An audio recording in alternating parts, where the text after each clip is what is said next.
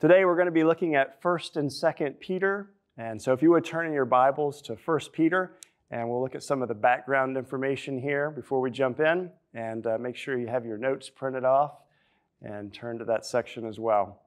All right, so looking at the background context of 1st and 2nd Peter, we see that the author is Peter the Apostle. So don't be confused by the many names that are in the New Testament for Peter. We've already seen that Paul refers to him as Cephas in the book of Galatians. And then uh, remember the Jerusalem Council, Acts 15. James calls him Simon. Uh, we see that also in the Gospels as well. So Peter has multiple names in the New Testament. It can be easy to get that confused. Uh, the audience. Well, First Peter, Peter is writing to a group of believers that are dispersed throughout Asia Minor. And uh, Peter writes to all the provinces that are in Asia Minor. So I have a map here, and I think it's also in your notes as well, uh, that we'll look at here in just a second.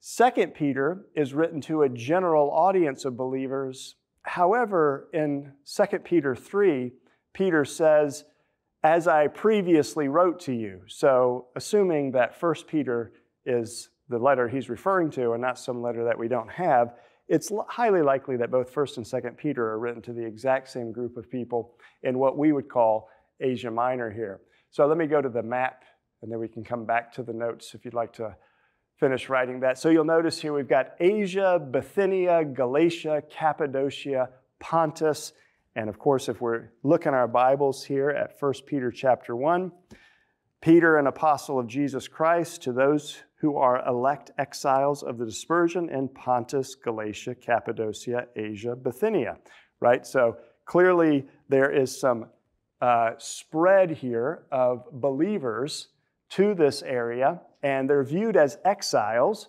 And maybe Peter is just using terminology that's talking about them kind of being spiritual exiles, in other words, way away from uh, uh, you know, the, the average uh, religious beliefs that are going on in Asia Minor. It could also be, though, that they are real exiles, that maybe they were pushed out by the Roman government. Potentially, maybe there's some background material here that as Claudius, the emperor, ha- removes Jews from the city of Rome, that maybe Peter is writing to those who have been dispersed from that expulsion and they ended up moving to Asia Minor and uh, taking up residence there. So that's a possibility, but it's a reconstruction, right? We're not sure about that. When did Peter write? Well, both of these are going to be very close in date 63 ish, 65 maybe, right? Question marks here. Uh, it's believed that Peter was martyred under the reign of Emperor Nero maybe around 65, 66, 67 AD. So, one of our key dates that we've been working with in the course is that in 70 AD, the Romans invaded Jerusalem and they, of course, overthrew the city of Jerusalem. Uh, so, Peter is mar- martyred before that time, and so presumably he wrote the letters uh, very soon prior to that, right? There are some issues of authorship when it comes particularly to 2 Peter. Uh, Karen Jobes, a noted Petrine scholar, says this The intertwined issues of author, date, and genre are probably more complicated for 2 Peter than for any other book of the New Testament. Unless new evidence comes to light, it is doubtful that we'll resolve these questions with certainty. And some of these questions have to do with the, the Greek of 1 Peter that's different from the Greek of 2 Peter. Um, but personally, I think that we, this can be answered and understood by, by recognizing that Peter may have actually been the person who wrote one of the letters, but he may have used a scribe or an amanuensis to write the other one. And so this is uh, how we can explain some of these differences. But they're more than just the Greek, right? There's some, um, there's some issues as far as genre and that. But I personally think that Peter is the author for both of them. And I think that he is referencing his first letter um, in 2 Peter. Well, the purpose statement. First Peter is written to encourage believers in the midst of suffering, persecution, and suffering. And Second Peter Peter warns of false teachers and their teachings. So, a significant section of 1 Peter is going to be uh, Peter saying, Look, when you are in a situation, particularly a social situation like master slave or a government that is oppressive, or even husband and wife relationships where maybe uh, where there's some unhealthiness there. Peter is telling each of these individuals look, when you don't have many options to get out from under persecution, how are you supposed to be thinking about that? How are you supposed to be processing the suffering here? So, First Peter in particular is uh, giving us a lot of guidance. And of course, as you can imagine, the model sufferer here is going to be Jesus, right? Jesus is going to be the one who exemplifies how to suffer righteously. And you and I are supposed to follow in the pattern of what Jesus did. So we'll be looking for that as we move into the letter, letters here. Okay, so we add the Petrine letters to our mailbox, Believers in Asia Minor, both of them together. And let's look at some of the literary features here of these two books. All right, out of all the authors of the New Testament books, we actually know the most about Peter. So we get to see him in the Gospels, we get to see him in the Acts, uh, the book of Acts, I should say, and then we get to see him with these two letters here. So we know the most about Peter, and we get to see his growth in his recognition and declaration of Jesus as the Messiah. So as you're kind of writing down this note, just go back in your your memory banks here and think about Peter and the Gospels. There's particularly this one scene which is very dramatic. Jesus asks his disciples, Who do people say that I am? And Peter says, You are the Christ, right? The Son of the living God. And Peter says, Excuse me, Jesus says to Peter, You know, nobody told, revealed this to you. Flesh and blood didn't reveal it to you. This is something that my Father in heaven has given you.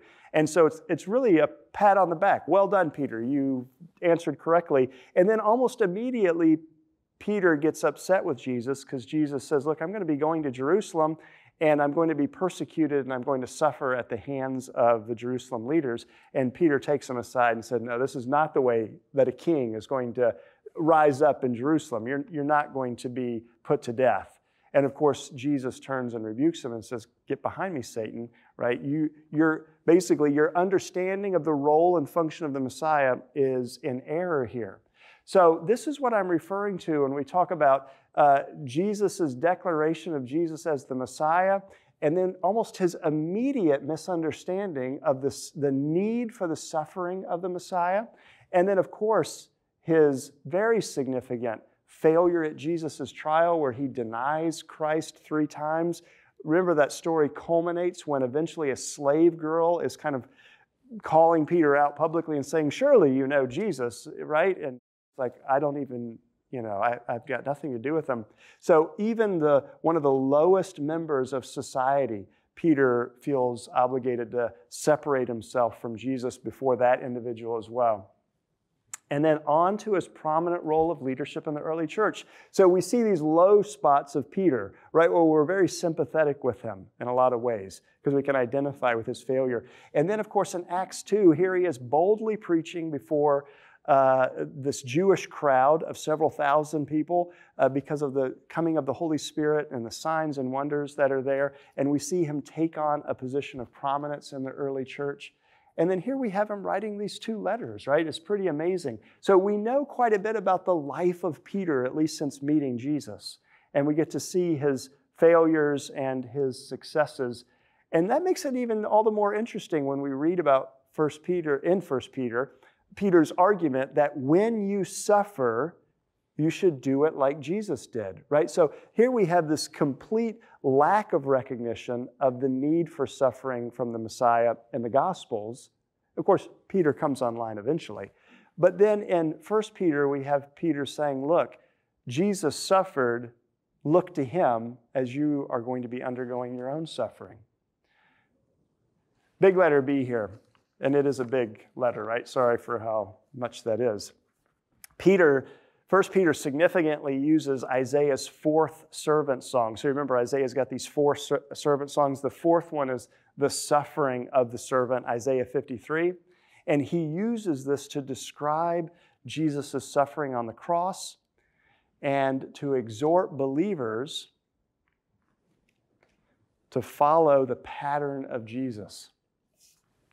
And so, just explicitly in your notes, I'm just connecting the, what I just said to the notes now. Peter's teaching and admonition show how far he has grown since his initial rebuke of Jesus when Jesus informed him of the need for the Messiah to be put to death. So Peter has really come around here, and it's pretty amazing if we wanted to do some kind of a charting of the character development of Peter in the New Testament, right? We get to see uh, the growth that he has, has undergone uh, in that process. Big letter C here. Whoops. Second Peter and Jude both have a lot in common. So Second Peter uh, and Jude are both talking about false teachers. And if we were to read them side by side, you would notice that a lot of the same illustrations that they use uh, are, are identical. And so they both discuss false teachers based on shared illustrations and warnings, which leads scholars to conclude that either Peter used Jude to write 2 Peter, or that Jude used 2 Peter to write his short letter, or that both were kind of drawing from maybe a, an, an early church uh, set of beliefs. In other words, maybe there was kind of some stock illustrations of rebellion and false teachers, and so both of them are independently drawing upon some well known illustrations. Uh, the current scholarly consensus you can see there is that uh, Peter used Jude's work. So maybe Jude was written first, and then Peter used that um, in order to write his letter warning believers about false teachers. Uh, and we'll talk a little bit about this. But if you were to read them side by side, then you would clearly see they both talk about fallen angels in Genesis 6. They both talk about Sodom and Gomorrah. Uh, they both uh, talk about uh, um, this, uh, the, basically, the idea of rebellion and forsaking uh, the responsibilities and position that God has given people uh, and, and, base, and, and rejection of God's authority there. All right, big letter D. Peter also significantly references Paul's letters, which is one of our most significant clues to the fact that there was early on some kind of collection of Paul's letters that was maybe in the early days of being established. And we don't really know how Paul's letter collection came together uh, or the order that it has. You know, we don't have any editor that's telling us why they were arranged the way they did. It's, I think it's possible that Paul himself was the one who began organizing his letter collection, Romans and then 1st and 2nd Corinthians and in the early days. Uh, but here we have Peter talking about Paul's letters and there's some pretty significant things that he says here. So I'm going to go ahead and read this passage, 2 Peter 3, 3.15, and count the patience of our Lord as salvation, just as our beloved brother Paul also wrote to you according to the wisdom given him, as he does in all his letters when he speaks in them of these matters. There are some things in them that are hard to understand. So here Peter is acknowledging I'm reading Paul's letters, and yeah, there's some things here that are that are you have to chew on it. They're difficult. And then he goes on to say, they're hard to understand, which the ignorant and unstable twist to their own destruction, as they do the other scriptures. Isn't that fantastic? He's actually equating Paul's letters with the other scriptures that they have. Presumably, the Old Testament would be a very obvious um, category that Peter would have that is scripture. So we have one of our most significant uh, set of verses here that's pointing to how the scriptures were formed and, of course, how even the early church leaders were interacting with one another. They weren't all on their own separate mission. Here, Peter's saying, Look, I'm reading Paul's letters and I'm benefiting from them. And yeah, there's some things that are tough in there, but this is the scriptures. So keep reading them, keep studying them. All right, Let's move on to some theological emphases in Peter's letters.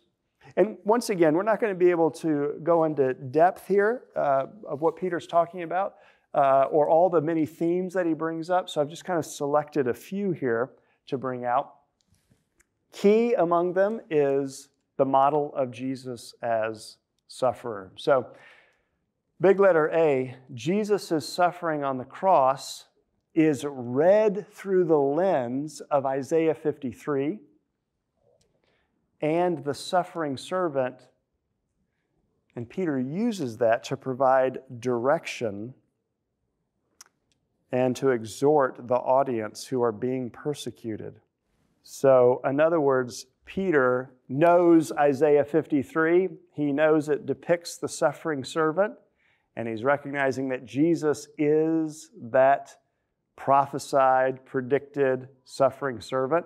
And so he is reading the events of Jesus' suffering using the language of Isaiah 53. And the outcome of that is hey, here's the direction and exhortation that you should have when you're, being, when you're undergoing suffering. So let's look at this text together. So I'm going to look at 1 Peter chapter 2, verse 18. Now, I really think that the context begins up there in verse 13. So if we had more time, we could unpack that. But look at verse 18, and I want you to see if you can spot some of the Isaianic language, some of the language from Isaiah 53. And I, I have a chart in your notes so you can kind of follow along that way as well. Verse 18 Servants, be subject to your masters with all respect, not only to the good and the gentle, but also to the unjust. For this is a gracious thing when, mindful of God, one endures sorrows while suffering unjustly.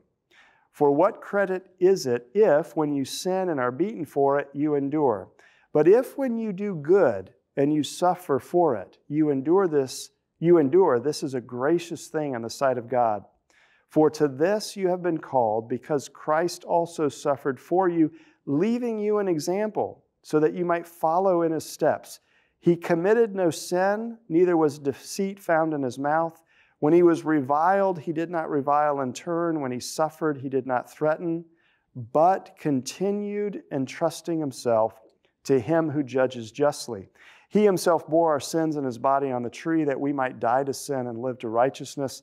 By his wounds you have been healed. For you were straying like sheep, but now you have returned to the shepherd and overseer of your souls. There's a chart that helps us to kind of see some of the similar language that Peter is using. Now, there is one extra, it's kind of like bonus round uh, bit of information about Peter's use of the Old Testament. And we talked about this maybe like the fourth or fifth day of class about how in the, the, the, the, literature that was being produced in between the Old and the New Testament, Jewish people were writing about their expectations of the Messiah. Jewish people were writing about how to live in exile.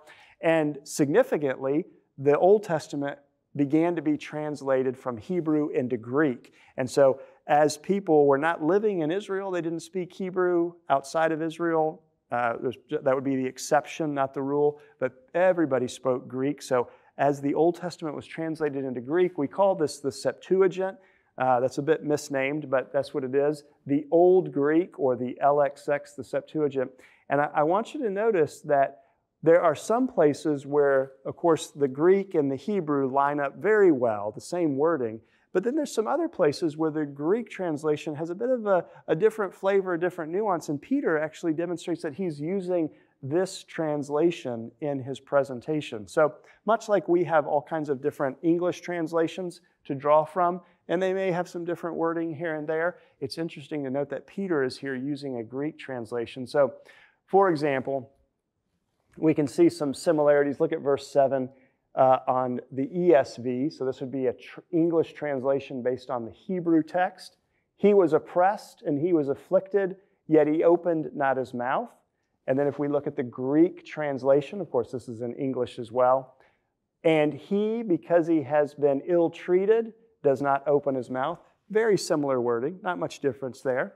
And then Peter, when he was reviled, he did not revile in turn, right?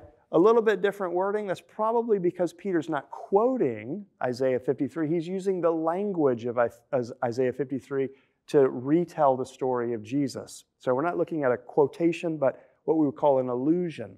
But let's look at one that is a bit more significant in the difference. If we look at verse 4 here, surely he has borne our griefs and carried our sorrows. So this is an English translation of the Hebrew. But then when we look at the English translation of the Greek, This one bears our sins and suffers pain for us. So here we're seeing a difference between the Hebrew text and the Greek translation of that Hebrew. And so that's a question well, why did they translate it the way they did? That's a bigger question than we can deal with today. But notice Peter, verse 24, he himself bore our sins in his body. He's clearly referring to the Greek Old Testament here. So uh, if you have questions on this and you want to talk about this, um, I really enjoy the Septuagint study, so we can talk about this in more detail. But the only observation I want to make here is that Peter seems to be drawing from a Greek translation of the Old Testament as he's writing to believers in Asia Minor who are all going to speak Greek, right? So this is a, kind of a, a fundamental observation of Peter's use of the Old Testament. And then there's some places like down here where the Greek and the Hebrew line up very closely, and yet Peter is adjusting the wording here because he's making application to his audience. For you were straying like sheep. Instead of notice, all we like sheep, all we like sheep, Peter really drives home the point by putting the pronoun you in there. You were straying like sheep, but you've now returned to the shepherd and overseer of your souls. Most significant point here Peter reading or describing Jesus' life through the wording and lens of Isaiah 53. And he's doing that to get to an exhortation that we'll talk about here in just a second. A sub point here that's just a, a technical note, but still pretty significant. Peter uses the Greek translation in order to make some of his points, right? Number two here believers are to follow in the footsteps in regard to the suffering excuse me, of Jesus in, in regard to suffering. And Peter gives us two things that he wants to leave us with as far as an exhortation. So if you look at 1 Peter 2:23, I've already read this first one. When Jesus was reviled, he did not revile in return, and when he suffered, he did not threaten, but continued entrusting himself to him who judges justly. Now, let's also go to chapter 4 here for the second one. Very similar wording here, chapter 4, verse 19. Therefore, let those who suffer according to God's will entrust their souls to a faithful Creator while doing good. So notice the two, the, the two kind of uh, characterizations of God here. He is a judge in fact, we have him described here as a just judge. And then in chapter four, he's a faithful creator.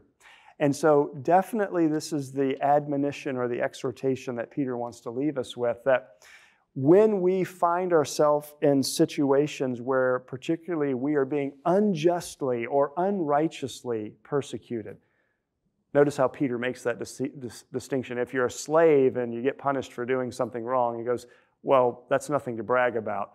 But if you're doing the right thing, if you're righteous in your behavior and you're getting persecuted, Peter says, Here's how you're supposed to think about that. Just like Jesus did, he entrusted his situation to a just judge. In other words, there will be someone out there who will hold the guilty accountable and who will defend those who are the righteous sufferer. So entrust yourself to that just judgment of God, even though we recognize that it's not going to be immediate, it's going to be future. And then, secondly, Peter says, when you are facing persecution, even though you're living correctly and righteously, you're doing the right things, entrust, again, that same word, we're, we're entrusting, we're letting, we're, we're letting God take care of this but he says, entrust yourself to a faithful creator.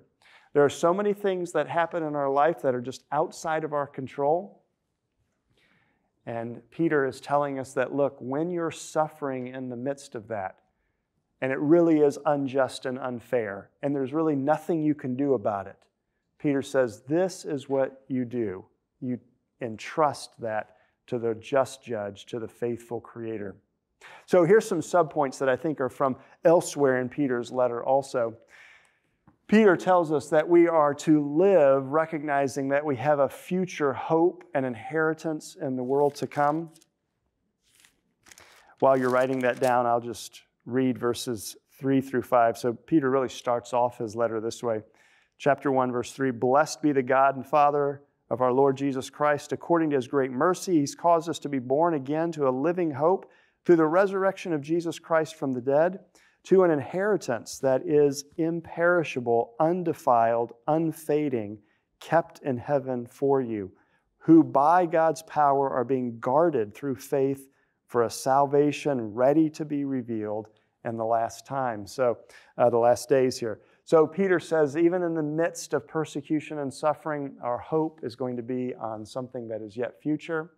And then Peter follows this up with a, uh, a very real value in the present time by saying that not only are we looking f- forward, hopefully, right, but now, verse 6, in this you rejoice, though now for a little while, if necessary, you've been grieved by various trials so that the testedness of your faith, or your translation may say the genuineness of your faith, more precious than gold that perishes, though it is tested by fire, may be found to result in the praise and glory and honor at the revelation of Jesus Christ. So, Peter tells us that a very practical outworking in the present as we are undergoing unrighteous suffering or suffering because of doing uh, uh, righteousness, I should say, unfair persecution, is that our faith is tested and it's purified and it matures, I think is what he's talking about. And so we see this in other letters as well, other, other books of the New Testament. Big letter B. Peter and I'm kind of changing topics here from suffering, but Peter describes the people of God in terms that are reminiscent and identical, really, to national Israel. If we look in chapter 2,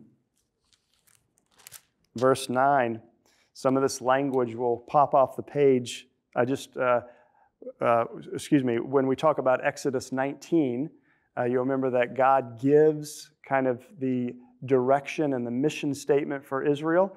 They are a treasured possession, a kingdom of priests, and then they are supposed to be a holy nation. Notice what Peter says in chapter 2, verse 9. But you are a chosen race, a royal priesthood, a holy nation, a people for his own possession, that you may proclaim the excellencies of him who called you out of darkness to his marvelous light. So we see here that Peter is taking language that described Israel's mission statement and he's saying, look, we can say that exactly about the church as well, although recognizing that we are not a nation, right? We're an international group. Big letter C here. Peter warns against false teachers. So now we're moving once again to a new topic, 2 Peter. These false teachers, there are many illustrations that characterize them or that helps us to understand what the problem with the false teachers are. But, and we can summarize them as they're rebellious to authority, they're sensual, and they're deniers of the future judgment. In other words, they're sinning and they're saying, it's going to be all right. There's not going to be any future judgment based on this. So I'll just read a couple of verses here. 2 Peter chapter 2, verse 1. But false prophets also arose among the people just as there will be false teachers among you who will secretly bring in destructive heresies, even denying the master who bought them, bringing upon themselves swift destruction. And many will follow their sensuality, and because of them, the way of truth will be blasphemed. And in their greed, they will exploit you with false words. Their condemnation from long ago is not idle, and their destruction is not asleep. So, if you're interested in knowing more about the, the illustrations that Peter provides, you can look at verse 4. It says he didn't spare angels when they sin. Um, you can look at verse 5. He didn't spare the ancient world. Uh, when they uh, were full of violence, he sent the flood.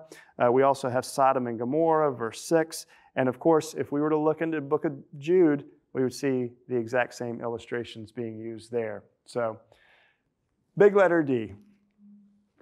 Peter connects the current righteous living that we are supposed to be doing, right? Living righteously in the present, with our knowledge of God's judgment and the future full rule of King Jesus.